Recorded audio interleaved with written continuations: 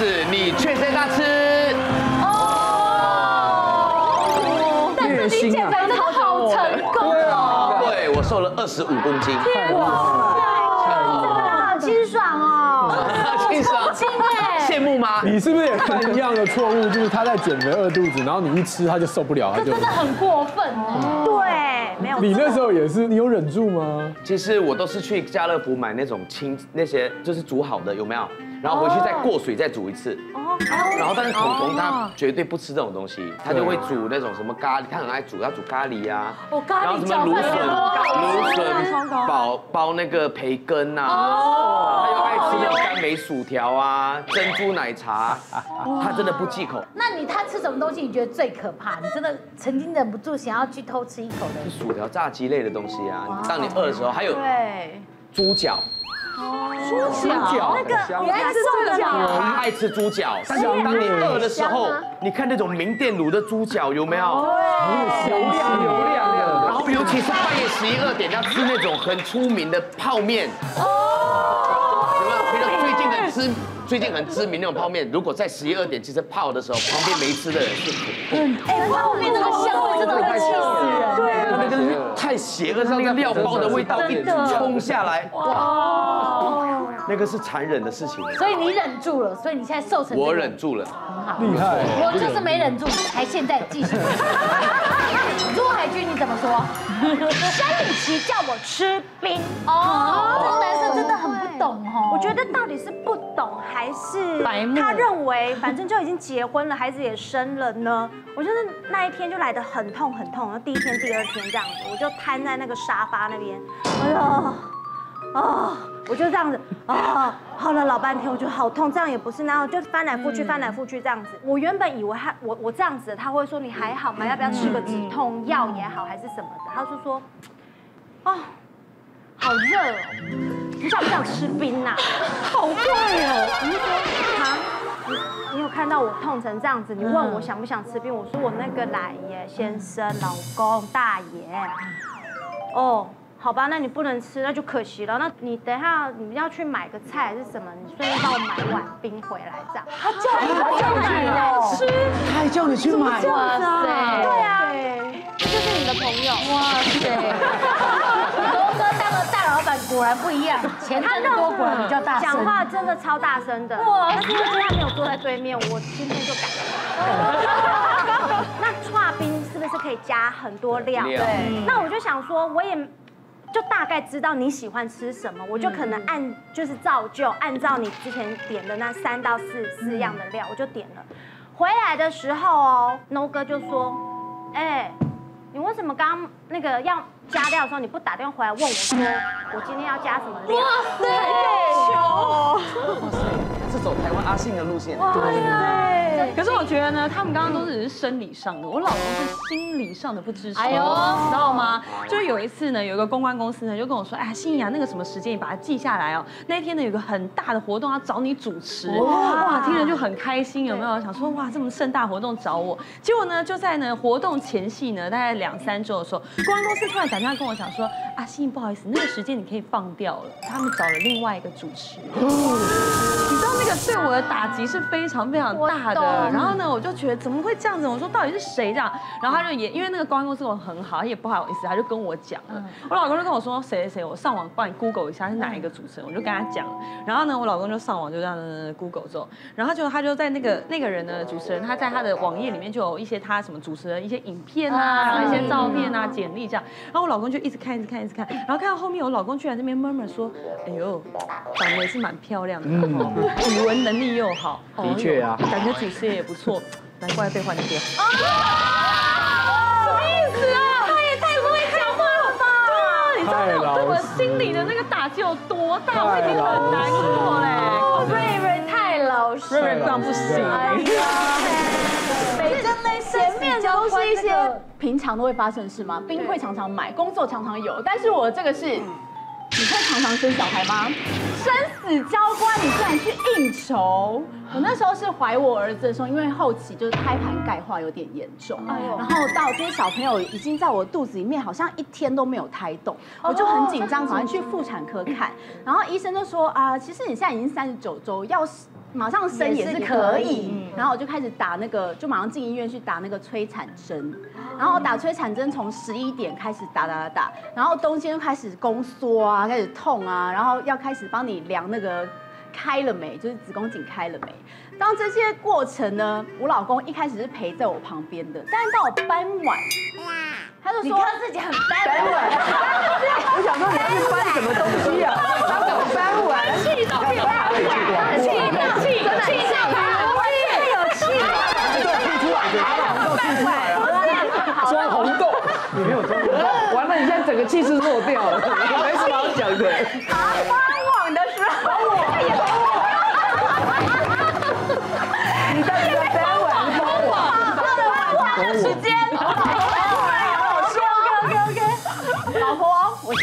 我先出去一下。什么？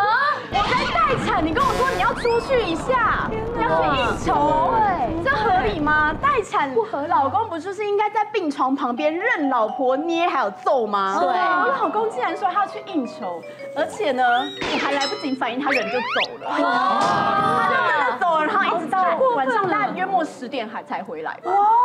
那你生了没？太晚了，还没。应该那他所以他凹对了，对不对？他是跟你约好是不是？不是啊，他因为他一定想说，哎呀，看来没有那么快生，随时所以我先出去吃个饭，然后再回来，OK 嘛？呀，可是这中间你听说我老婆会不妈生我的安什么时候，我的？爸这样，等一下，你妈生你的时候，你爸也这样还。有那个看诊看很晚嘛，到了两三点都没有吃午餐，然后就这个下诊之后就跑去看一下，啊我生哦，哦我去吃面了，然后就走了，真的假的？吃完面再回来还没生，哦，那你以后小孩当医生哦。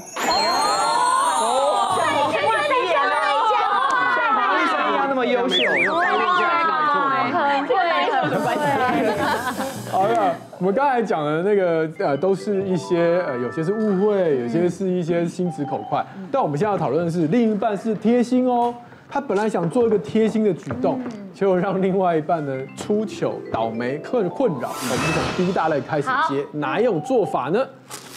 帮倒忙害我出糗，好心就让另外一半的人出糗。这是前阵子啊，我参加了一个名人二手义卖拍卖会，可是这一个不是常常有的机会，但是我一直就是嗯 我等等这个做公益的机会等很久很久，那我就在家里，就那一整个礼拜我都在家里一直整理东西，因为你要既然是要拍卖，你是不是应该也是要准备一些像样像化的？嗯嗯。然后就包包啊、鞋子啊、衣服啊，我都准备了，总共有三到三到四箱，而且一个箱子还真的还蛮大的，哦、是那种大 size 的箱子。可是那一阵子就是有下雨，然后我只就是因为生产，就是生过孩子之后，我发现我的腰好像。就是在下雨或者是天气不好的时候，我就是容易有生病酸对啊，而且那种四大箱，我根本就是搬不动，搬不动但是需要老公的帮忙。然后我就跟他讲，他就说：“你这弄这四大项是要干什么的？”我说：“哦，我这个是要捐赠的。”他就听到捐赠，说：“哦，好哦，好哦，做做做善事啊，做公益啊，非常好这样子。”他就整个搬到那个资源回收桶的旁边，就那个铁桶子的那个旁边。因为有些资源回收旁边会有一个二手衣回收，就是一个绿色的桶子。可是那是他可二手衣能把他以为是那个对，以为是那一个，但是我这是要去拍卖的，因为我接就是呃有那个基金会的那个窗窗口，而且是主管哦。那一天打电话给我说，海军，我现在在你们楼下了，我来我来那个载你的东西这样子。我说好好好，那个我老公刚刚那个搬下去了，搬下去了，你等他一下下，等这一等就等了三天，没有十十五分钟哦，十五分钟，他就说海军。没没有哎，因为我老公整个人就是也上来了，哦，都搬上来了。我说你确定有搬下去吗？他说有啊，啊就那个啊，资源回收那个铁桶那边啊。哇塞！啊，你不是说资源回就是捐赠吗？我说捐赠跟资源回收，请问先生哪里有一样？到底是哪里听来的？哦。后来哦，这样就算了，我就整个我就很气很气，然后他也很气，他就说，那你也没有讲清楚啊，你没有跟我说人家。那个在在楼下准备要载你的东西啦，你只有说把我抱抱下去警卫室那边，我就以为是那个铁桶那边啊。我说好，什么都不要讲，我就自己下去。然后我想说去铁桶那边找，天哪！我走到铁桶那一边，我的那四大箱不见了。对啊，效率太高了实质师姐也太快了吧，太太快，乘着云鹤就来了。它怎么不见了还是什么的？我就在那慌了，你知道吗？我今因为我们社区有打扫的那些人员嘛，我就问说，那个阿北，你有看到我这四大箱的东西吗？哦，真的是菩萨有保佑，贵人来相助，你知道吗？那个阿北说。乌啦有啦，我刚刚把你吼，哎，莫莫去你阮迄仓库啦，哎，你四大箱吼，太大箱底下定位啦，说 我那个东西定位，我说阿北拍谁？那个是我老公报错了，这个是我要给我朋友的。我说啊，你好，好好好，那那你跟警卫借推车，然后就到仓库。好险！我就去那个仓库，一箱一箱很重很重的搬，所以他到底有帮帮帮了我什么忙？罗罗哥也是要帮忙啊，出发点是要帮忙。他对的出发啦，点是，而且以海军平常爱买名牌的那个状况，那四大箱应该价值不菲。真的，而且好险遇到好的打扫人员呢，对没有看到说哦这哦小香没带 没有那个打扫人员说，哎呀，海军姐还有一件在这里，不好意思。穿起来刚刚好，穿起来还好还好有做到公益。像这样子的事情啊，有一次啊，是因为我平常很少过一些特殊的节日啊，我对节日比较无感。哦，那有一天就我生日的时候，我太太就想要偷偷的办个庆庆哇，生。浪漫。嗯，但是庆生的这个事情，她又不知道要找谁。我那时候比较早期的时候，所以她就找了我的脸书跟他脸书有交集的朋友，我觉得这样应该是绝对不会出错了。嗯，那所以当天我到现场的时候，我以为只有我跟他嘛，所以我就很惊讶，哎，怎么会有这么多人来啊？哇，这么嗨呀、真的感觉很开心。真放眼望过去，大概有一半的人我不认识，他也不认识，他以为我会认识，我以为他会认识。重点是他来乱加好友，那些也蛮够义气的，还会愿意让小时候平白平白无故，哎，这个人好像没有很熟，那还还是去已经有好可可能有免费吃喝的吧。对啊，太惨的就是啊，里面还有那种分手的情侣，哦刚分手，然后现在现场王见王，哇，超尴尬又吵了。起来，在现场吵架。还吵对，对，真的很惨。然后整个反正整个晚上很尴尬，就对了。我们知道赶快结束，赶快夹着尾巴逃跑。哇很尴尬哎。我的比赛经真的更精彩。哇哦跟他的其实有雷同，但是我的很惨。嗯我是没有写过情书给女生，然后我就第一次想说她生日，我就写那个生日卡片给她。嗯，然后我弄了一个项链，打造了我们的名字，然后送给她。她拿到她就眼眶就先泛红，然后她就看到哇，你还写情书给我，就是生日卡片，她就很开心的打开。她一打开，她就不知笑出来了。怎么了因为我写爱成点点，就是爱成。收件人变成寄件人，他想说为什么你会这样写？我说剧本都是这样写啊，爱成说啊。把那天的天气跟车子买在对，然后他就已经有开始不是很舒服了，觉得自己第一次写情书写的这样子，然后就说你不用担心，还有下一个惊喜。上车，我开在天母谁啊谁啊，其实我是约在阳明山。我在天母一直写 写不上去阳明山，写很久，因为他真的很认真说，我上不去。到最后真的没办法了，因为我上了得金山时间点那个餐厅的时间已经过了，你知道吗？所以我就快点跟他说，快点帮我是，我是就是阳明山的餐厅。他说他就再跌倒一次，然后我约了四拖人，因为我看到他手机跟我手机，只要我们认识我就约。但是我没想到一个聚会你不可以这样约，就是。四拖人可能要演戏的、综艺节目的，或者是我们自己朋友的、亲戚的，你大家约在一起，没有话题啊，因为其实会有点尴尬。对，但是我我第一次办嘛，我就是到都约来，然后又不是用我的名字去订餐厅，用朋友的名字订餐厅，所以四团人在外面等，是这一团人要跟我们一起吃饭吗？我们一定很紧张。然后他们一直打电话，然后我跟彤彤又在车上面，那个导航还在那边弄半天，上不了阳明山，上不了结果迟到了半个多小时，整团人在外面。其实彤彤他是很讨厌不准时啊，或者是约没有约好这种东西，他会很讨厌男人不细心这种事，所以那天其实他就已经脸就是已经几乎是全黑的了。然后进去幸亏那个餐厅的餐很好吃，好谢，补回餐很。好吃，然后大家到最后又有礼物啊什么啊，然后又开心，就还是最后还是圆满。对，前面好，哎，可精心回来了这真的很伤心，就是其实他精心准备，对但是真的是我精心准备，对我准备了挺久的。可至少他最后很开心，总比赛先生那个到最后有没有？不慌的，夹着尾巴跑慌而逃。好一些。好，不错啊，很贴心啊，感觉还是有温暖的回忆啊，帮倒忙的事情。来，我们来看第二个是什么呢？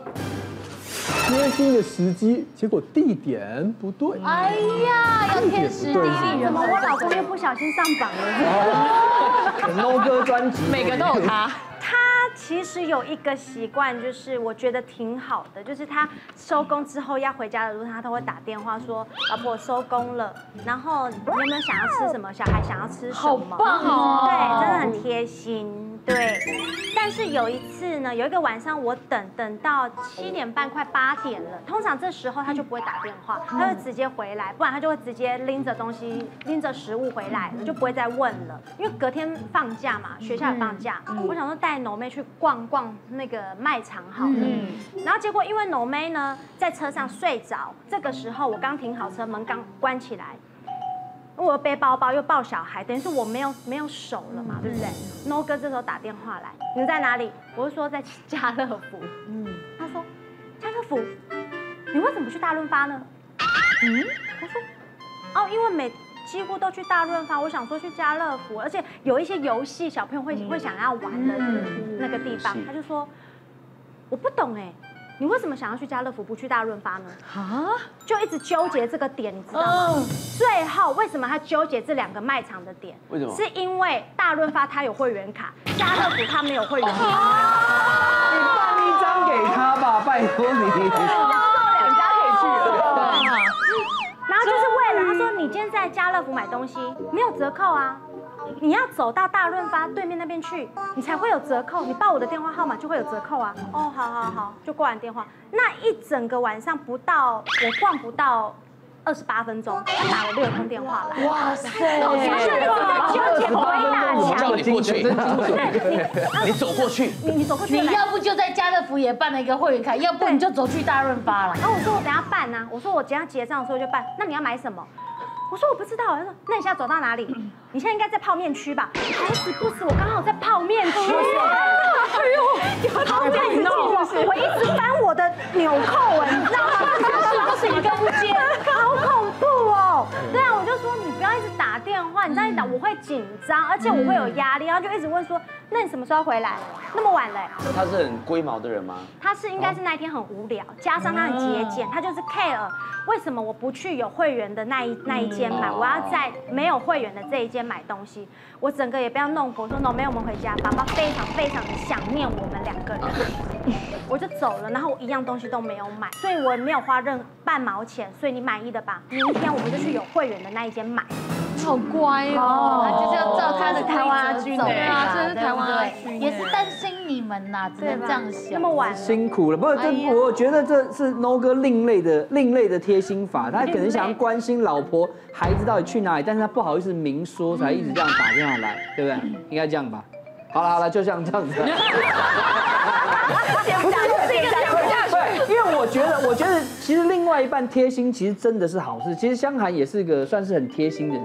我之前跟他一起工作的时候，他就会很主动的帮我说，哎，拿咖啡啊给我啊，或帮我这个如果外套脱下来帮我折好啊。已经在一起了吗？对对对对对，我其实觉得很怪，因为其实我很不喜欢人家来服侍我，嗯我会觉得那个感觉很不好。我有一可能比较大男人一点。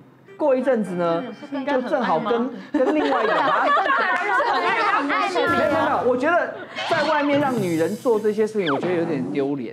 哦，我觉得有点丢脸。我觉得这种事情，在家里对呀、在家里就我觉得在家 OK 嘛，但在外面就是，哎，这种小事情，哎，我自己拿就是比较帅一点。而且我们在外面是公事，不要那些私人感对情。对，我我觉我觉得是这样子。好，很多结果果不果不其然，隔一阵子呢，我正好碰到另外一个制作单位的人，就劈劈头就跟我讲，哎，小兵，哎，听说你很拽，很耍大牌。我说，什么事情？什么叫耍大牌？哎，他怎么知道？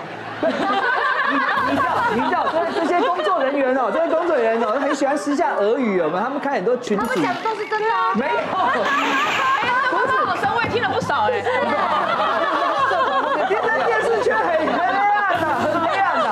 他们的讯息就这样流通来流通去。我说，就是你跟大家讲说，你不要坐后面，要调到前面。不是。坐不到前面去，我已经要求好多次了。我下次坐，我下次坐第三排好吗？安排个第三排位置给我。下次坐背板后面。不是，然后结果我就说怎么一回事？他说没有啊，听听你们那个工作人员说啊，说你这个什么做事啊都不自己动手，都要香涵主动帮你弄。哦，就其实是香涵主动贴心，就绝对不是说我在那边颐指气使说叫他做什么叫他做什么。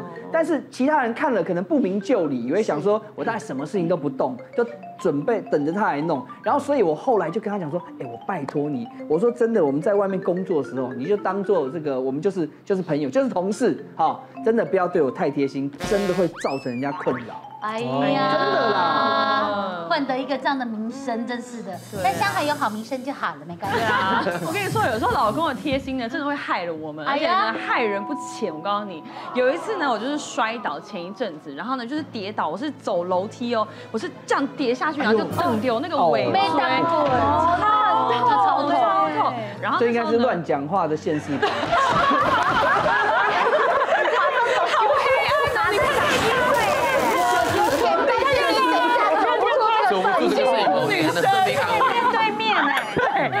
然后后来呢，我就哇动不了，我老公就就很紧张嘛，想说怎么会突然这样？然后我们家有那个冰敷的那个冰枕，然后他就想说哇这这里痛，那赶快去拿那个冰枕来。然后呢敷着敷着就是觉得。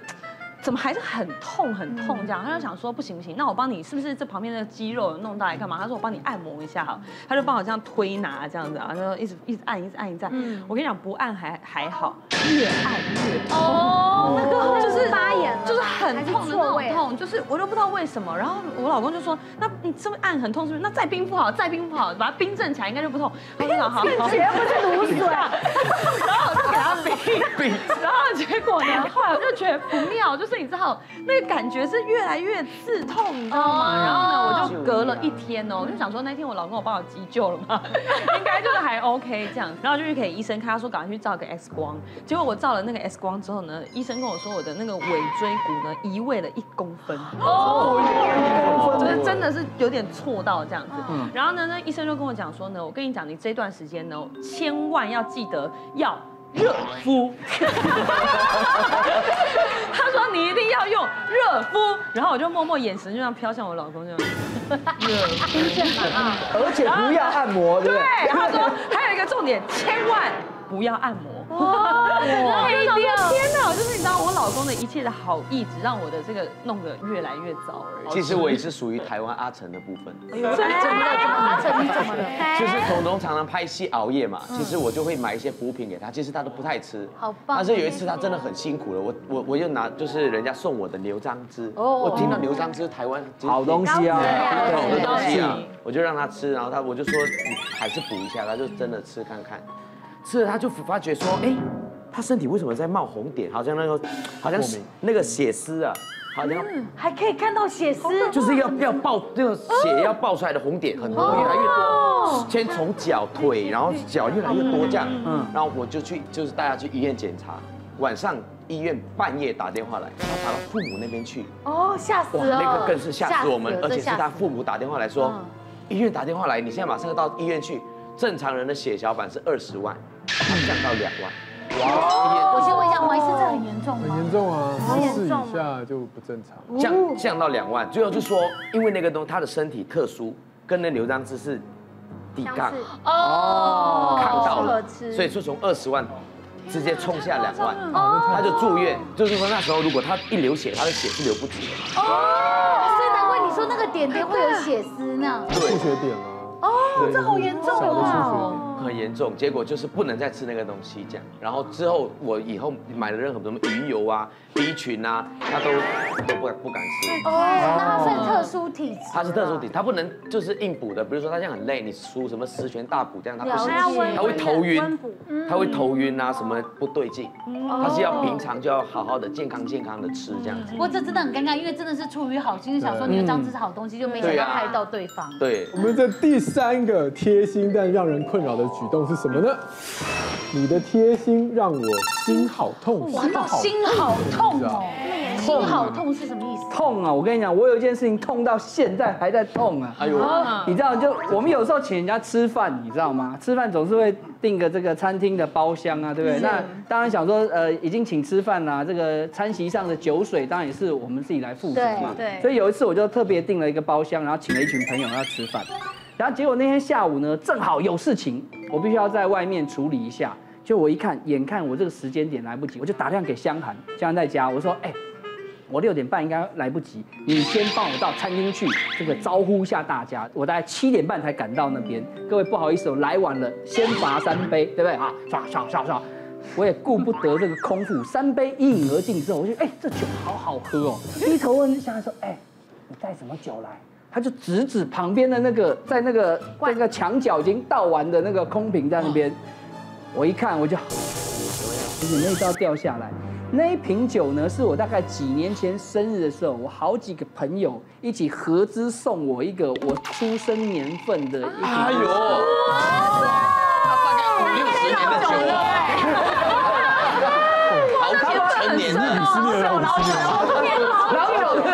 老友小妹你人有多糟？你讲什么成年老酒，我贵，我应该好好澄清一下我自己，我形象到底有多差。那个你要想想看，我那天请吃饭那一桌桌菜才八千块，那一瓶酒呢？那瓶酒在出来的出厂价叫三万多块，真的假的？然后还然后还是限量的，因为它限量一百五十瓶而已。那就是说以后还有增值的空间嘛，对不对？所以你他把我三万多块喝掉就算了。增值空间也没了，而且这种酒就是世界上喝一瓶少一瓶，你说我能不心痛？能怪他吗？对不对？能啊我哑巴吃黄连，自己也说好酒跟好朋友喝，对呀，你现在在嫌那些朋友不够格吗？确定你人缘不好，因为黄医师都落井下石了。我跟你讲，大家大家大家知道，我真是讲实话的，那群朋友真的是没有值得到喝三万。你说两千多块，三千块有没有朋友应该是赛先生，不是你们，看到这些都不是你们。那好险，你知道有先干了三杯，对，所以我后面我后面就喝的特别起劲，想说，哎，然后一小杯就多少钱呢？一口酒就几百块的。小应该干三，公杯的会比你的朋友已经很少了，你再这样讲下去，你真的连一个都没有。不过三万是真的欣慰淌血，我觉得。对啊，的年月，这样子。对，哦，那很有意义的像我之前呢，曾经买过一件非常美的洋装，而且我为了买那件洋装呢，想了一个月之久。身上那不是这一件，不是这一件，因为那一件大概是一个设计师品牌，一件要两万，哦。所以我真的想了很久才买。然后它最美的地方呢，就是它的那个不对称的剪裁跟皱褶的设计。哦，对，那有一天呢，我就穿过去就完蛋了，不妙，不妙。不妙，听起来就很有一八点档演的事情活生生发生。我穿完之后呢，我就把它丢洗衣篮，而且我还是丢另外一个洗衣篮，就是准备要送洗的洗衣篮。哦，然后我想说，过两天我就要把它一起送洗。结果有一天呢，我回来之后回家，我老公就说：“老婆，我今天做一件很棒的事。”我想说，什么事？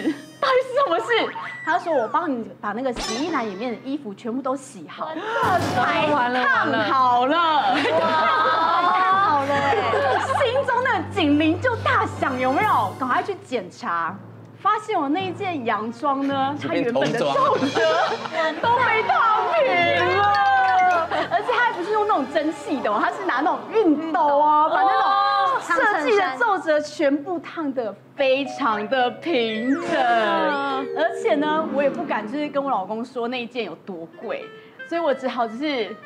内心流着血，但是脸上带着笑，说：“老公，你真的好贴心哦，真的谢谢你，我好开心哦，我把衣服洗好了。你说的那件事情我知道，我感同身受，因为我就是很纳闷，说为什么老公常常日常生活中，我老公就常会做一些我觉得匪夷所思的事情。就像有一次我老公也是，他也是衣服帮我丢进去洗，可是那件衣服是上面都有植绒啊。那我们一般都会知道说植绒的其实要手洗，不然你好歹也装个洗衣袋，对是，对对对对。可是它就是可以全部都丢进去洗衣机里面洗，然后洗完以后呢，那植绒可能一半已经掉了，哎呀，然后又有一次呢，就是我下班回来，然后我老公也是很开心的跟我说，哎，老婆，我今天就是我有把地板拖干净，你有感受到吗？我说，哦，有有有。他说我今天拖地了，然后我也洗了衣服，这样，他就想要心啊对，他就想要跟我邀功啊。他说，然后可是我就很开心的，就踩着那干净的地板呢、然后面带微笑的走到后阳台，想要去看一下他的杰作。结果呢，我走到后阳台，我头一抬起来的时候，整个脸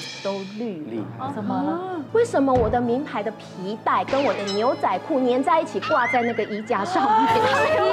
皮带起来，要把皮带抽起来耶！因为那一条皮带是也是我想了很久，就是我觉得真的很好看，可是那条皮带其实也要一万多块。哇塞！皮带下水之后会怎么样啊？是名牌皮带，然后我就说为什么我的皮带在上面你没有拆起起来？他就说。因为我看他跟牛仔裤是在一起，我想说是不是粘在一起的，皮带拆起来会坏掉。有裤子跟皮带设计粘在一起。有有有有，没有，只有前面的扣子。通常那样的是帆布的，不会是真皮的。对对，他就说他怕把我拆坏，而且重点是那牛仔裤其实我还没有要洗啊，就是你只穿过一次，我折在那个床头边，可能我明天还可以再穿，因为牛仔裤不会天天洗。对对对他就是好心想说，呃，那我穿过，他帮我拿去洗，结果他没有把皮带拆起来，那那个皮带就经过那个洗衣机，可能水洗，然后又滚过，又拖过水，然后再硬对，然后就整个变硬，整条就变形，整条个整个爆破，对我整个超难过，然后就说那皮带要拆起来，我就很生气。可是他说就一条皮带而已是怎么样？因为我不好意思跟他说那条皮带其实要一万多。哦，因为也不敢对讲。哎，我发现妈妈其实很好笑，他们其实很想生气，但是碍于说不出口，因为怕生气说这个衣服两万多，这皮带一万多，哎呦，那错的就是自己。对，然后你要人找坤对，对。你感同身受啊，很深啊。对啊，这结果后来那时候老公就想说，好，那我再用另外一件事情，他企图想要弥补，就是那个皮带尸体这件事情。他说，那那不然电锅里面我有帮你热了吃的，你要呃，就是你要不要去吃这样子？我就想说，哦，好吧，然后我就去电锅看，就电锅打开的时候，我想说，你是想要毒死我吗？哎，为什么？因为我老公就把那个他，因为你去外面买就是买饭啊买面，不是会用那种塑胶碗那种对白色那种塑胶碗，对不对？它是整个便当饭，它整个连那塑胶碗一起放进电锅里面去蒸哦他他想说为什么？到底你是你是看过哪一本书教你可以这样用？这个可以真了你就会觉得匪夷所思，到底为什么？两位妈妈讲说，就是然后女人通常老公把她东西弄坏，她不敢讲价钱。嗯，我觉得女人还有一件一件事也不敢讲，就她把老公东西弄坏，她也不敢讲价钱。哦，你知道她不敢讲这件事情。因为像我有一次，就是因为我老婆娘家在高雄，有一次我就开车带他们回高雄，然后呢回去之后，因为我台北还有工作，我就先回来了。然后把车放在高雄，然后等到我忙完我回去的时候，我老婆很很贴心哦，因为她自己属于一个比较浪漫的女人，是啊，对，她就偷偷开着车来载我，我觉得哇，感觉你知道，因为这样舟车劳顿其实是很辛苦的。然后可是她接到我就说，哎，可是我刚好还有在高雄有约一个客户，我要去谈一下事情。他说没问题，老公我高雄人，什么不熟我路最熟，然后我就顺路呢，因为刚好我要拿个东西，顺路带你去。结果呢，越走我觉得怎么越走越偏，越走越歪。然后呢，最后呢，不但呢不顺路，他还给我迷路。然后最后我就说没关系，老婆你不用逞强，我们就用导航就好。要逞强。我们就用导航就好。要找到导航阳明山，好朋友我就怕他给我开到阳明山上面去。好，那就离得，喂那离得有点远了。好，然后我们就就呢，最后呢，终于找到客户那边。好，我也迟到了。然后这件事情就算，我就跟客户道歉啊，因为你知道，就是迟到是一个不好的一个行为，对，尤其就是找了四拖人，然后又要在那边等半个小时。好，然后呢？敢刁你耶！然后呢？后来呢？隔天早上，因为我我就想说，那我要开车出去。结果我一开车的时候我就放东西嘛，从车后门我就奇怪，我的车怎么长得右后门那边长得有点不太一样？哎，老婆，为什么这边凹下去了？他说啊，老公，我正打算跟你讲。哇塞！昨天我开车出去的时候呢，我左左转弯出车库，我只看到前面，没看到后面。当我听到声音的时候，已经来不及我。就听到声音，然后呢，我就赶快把鼓啊！我说你听到声音，你应该拜托把你头车头往右转再出去。他不是，他是 A A 到后再回来同样的位置再 A。高贵高贵，出去对，再回来一次这样子。然后我就说，你的心在淌血。对，我在淌血。他就还我老婆还跟我说，啊，不就是车嘛，再修就好了。我心想，对，再修就好。我这钣金的钱呢，我大概可以坐电车，不知道来回多少次。就后来我还要不但要修车，我还要赔罪给客户，然后去送礼给人家。哦，对，就是他的，我觉得他的贴心让我是。哎，我想问男生有没有什么东西是你们觉得女生千万不要碰的？车子。车啊，一定是车子。我觉得马路三宝是正正确的。马路三宝是正确的。妈妈好神的观众群百分之八十。对，我说马路三宝就是男人，老男人。啊！谢谢你救了我们那个节目。男人老男人对，像我们自己男人开车都都知道都乱开，算你会好了，这样子。最后一个怎么样贴心举动呢？是贴心，但毁了我的用心。哎呀，看看，我要来告诉大家香汉有多贴心了。OK，很多故事。我有一次出外景，就到这个南投的埔里，然后正好也差不多就是这个这个季节，这这个百香果差不多要出来的时候。我就买了一大箱百香果，带回来之后，有一天我空闲在家里没事，我就大概就花了两个多小时时间，洗百香果，洗了五六十颗，每颗都要洗嘛，对不对？洗完它对半切，切完了之后，把里面的那些果肉果肉全部都挖出来，然后放在一个这锅里面，我就想说准备我要开始来熬果酱了。好，哎，结果我才开没多久，正好我朋友打电话找我出去一下，然后我就把火关掉了，然后我就出门了。那香涵也知道我那天要熬果酱这件事。